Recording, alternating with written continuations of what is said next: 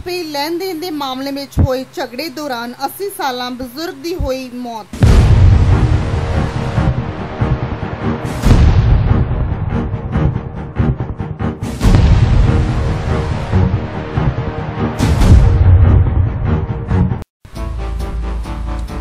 ਜ਼ਿਕਰ ਅਜੇ ਕੱਲ 1000 ਰੁਪਏ ਪਿੱਛੇ ਹੋਏ ਕਤਲ ਦਾ ਮਾਮਲਾ ਠੰਡਾ ਵੀ ਨਹੀਂ ਸੀ ਹੋਇਆ ਕਿ ਅੱਜ ਫਿਰ ਇੱਕ ਵਾਰ ਪੈਸੇ ਪਿੱਛੇ ਜ਼ਿੰਦਗੀ ਹਾਰ ਗਈ।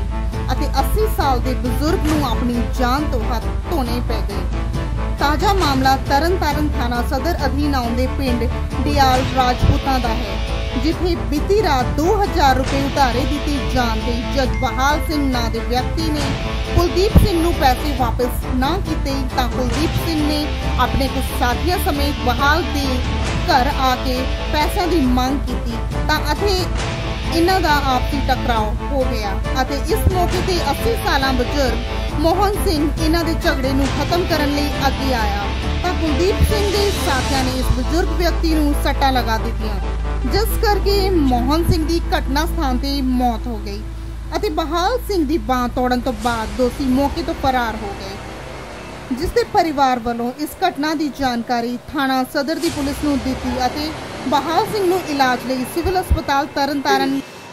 ਸਾਡਾ ਪਿੰਡ ਜਾ ਰਾਜਪੂਤਾ ਦੇ ਰਹਿਣ ਵਾਲੇ ਮੈਂ ਰਾਜੂ ਬੋਲਿਆ ਸਰ, ਰਾਤ 11:30 ਵਜੇ ਸਾਡੇ ਘਰ ਹਾਦਸਾ ਆਇਆ ਵਾ, ਤਿੰਨ ਬੰਦੇ ਆਣ ਕੇ ਪਏ ਨੇ। ਇਹਨਾਂ ਤਿੰਨਾਂ ਬੰਦਿਆਂ ਨੇ ਸਾਡੇ ਘਰ ਕੁੱਟ ਮਾਰ ਕੇ ਗਈ ਆ ਬਾਪੂ ਨੂੰ ਜਾਨੋਂ ਮਾਰ ਦਿੱਤਾ ਗਿਆ ਵਾ। ਇੱਕ ਮੇਰਾ ਦੇਰ ਆ, ਉਹਨੂੰ ਕੁੱਟ ਮਾਰ ਕੀਤੀ ਆ, ਉਹਦੀ ਸੱਜੀ ਬਾਹ ਤੋੜੀ ਆ। ਤਿੰਨ ਬੰਦੇ ਨੇ ਘਰੇ ਜਿਹੜੇ ਆਣ ਕੇ ਪਏ, ਦੋ ਬੰਦੇ ਬਾਹਰ ਖੜੇ ਰਹੇ ਨੇ।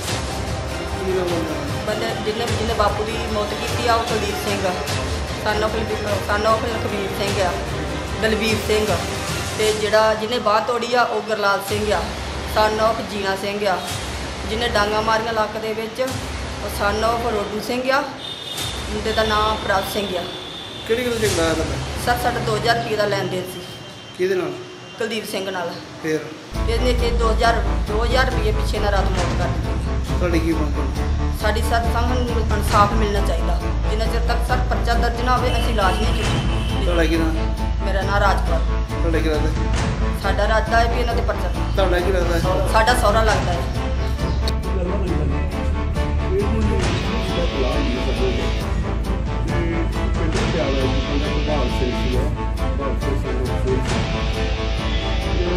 ਆਪਣੇ ਘਰ ਦਾ ਪਿਆ ਸੀ ਰਾਤ ਦੀ ਸਾਢੇ 11 ਵਜੇ ਪਿੰਡ ਦੇ ਤਿੰਨ ਬੰਦੇ ਆਪਣੇ ਆਏ ਕੁਲਦੀਪ ਸਿੰਘ ਭੁੱਲਾ ਸੀ ਮਾਲਿਕ ਸਾਹਿਬ ਤੇ ਇੱਕ ਗੁਰਲਾਲ ਸਿੰਘ ਨਾਲ ਦੋ ਬੰਦੇ ਹੋ ਸਕਦੇ ਤੇ ਉਹਦੇ ਘਰ ਦਾਖਲ ਹੋਏ ਇਹਦੇ ਜਾਣ ਦਾ ਤੇ ਇਹਨੂੰ ਕੁੱਟਮਾਰ ਕੀਤੀ ਇਹਦਾ ਰੌਲਾ ਸੁਣ ਕੇ ਘਰ ਪਹੁੰਚਦਾ ਨਹੀਂ ਸੀ ਇਹਦਾ ਇੱਕ ਚਾਚਾ ਲੱਗੇ ਰਹਿੰਦਾ ਸੀਗਾ ਸੋਚ ਸਿੰਘ ਮੋਹਨ ਸਿੰਘ ਉਹ ਜਦੋਂ ਉੱਠਿਆ ਤੇ ਉਹ ਜਾ ਕੇ ਉਹਦੇ ਵੀ ਉਹਨੂੰ ਮੇਰੇ ਨੰਗ ਨੂੰ ਮਾਰ ਉਹ ਰਾਤ ਨੂੰ ਇੱਥੇ ਦਾਖਲ ਕਰਾਇਆ ਤੇ ਦਰਾਨੇ ਇਲਾਜ ਦੀ ਸਵੇਰੇ 4 ਵਜੇ ਮੌਤ ਹੋ ਗਈ ਉਹ ਜਦ ਕੋਈ ਡਬਲ ਸਟੇਜ ਮੁੱਖ ਅਫਸਰ ਸਾਹਿਬ ਹੋਣ ਲੱਗਿਆ ਕਿਉਂ ਅਜੇ ਪੋਸਟਮਾਰਟਮ ਲੱਗੇ ਹੋਏ ਤੇ ਜਿੱਦਾਂ ਵੀ ਅਜੇ ਕਾਰਵਾਈ ਹੋਈ, ਜੋ ਪਾਇਆ ਗਿਆ, ਉਹ ਵੀ ਕਾਰਵਾਈ ਕਰ